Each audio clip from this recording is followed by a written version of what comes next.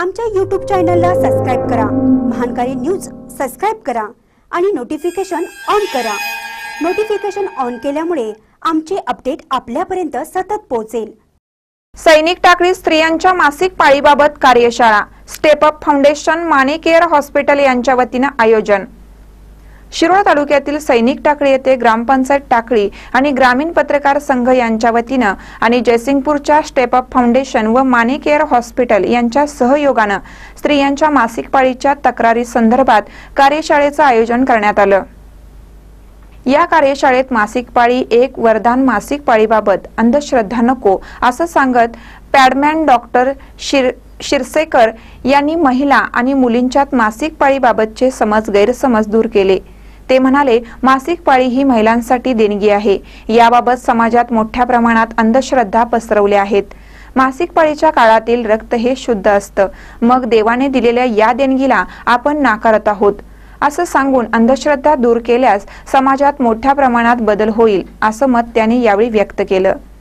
तर मासिक पाळीच्या काळात महिला असुरक्षित कपड्यांचा वापर करतात.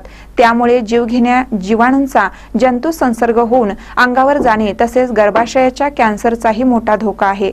म्हणून जैविक पॅड सारख्या साधनांचा वापर महिला मुलींनी करावा असे आवाहन पॅडमॅन डॉक्टर शिरसेकर यांनी यावेळी केलं. यावेळी जयसिंगपूर नगरपालिकेच्या नगराध्यक्षा डॉक्टर नीता माने जिल्हा परिषदेचे बांधकाम आणि आरोग्य खात्याच्या माजी सभापती सीमा पाटील सैनिक टाकळी गावच्या विद्यमान सरपंच वंदना माळगे डॉक्टर अनिता पाटील ग्रामपंचायत सदस्य सुवर्णा पाटील यांच्यासह Suvarna Kolekar Meenakshi Koli Sanjeevani Patil Shri Chhatrapati Shivaji high school and girls हायस्कूलच्या शिक्षिका गायकवाड बावरची महेंद्र मोरे सुतार धुमाळे यांच्यासह महिला आणि मुली मोठ्या संख्येने उपस्थित होत्या. मानकर न्यूजसाठी सैनिक टाकळीहून संजीव गायकवाड.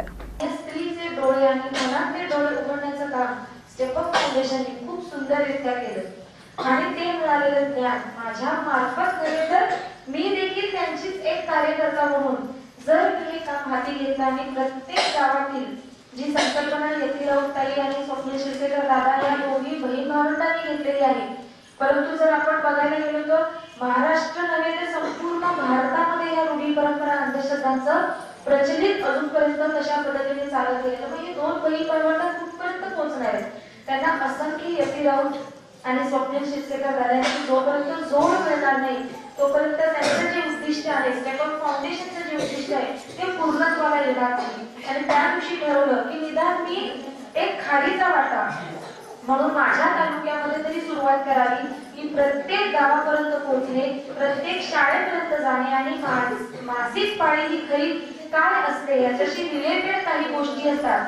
ज्या कारण विषय काढणार बघा बऱ्याचशा निम्या मुलींची मान लगेच खाली जाते आपण चर्चेला सुरुवात केल्यानंतर आम्हाला लगेच लज्जा वाटायला लागते आम्ही एकमेकींशी बोलत असताना त्या दिवसांबद्दल त्या अडचणीबद्दल प्रॉब्लेम विटाळ अशा गोष्टींनी आपण त्या मासिक पाळीच्या दिवसांना उद्देशून आपण पण बोलत असतो खरं तर ज्या मासिक मुळे पाळीमुळे मला स्त्रीत्व बहाल झालेला आहे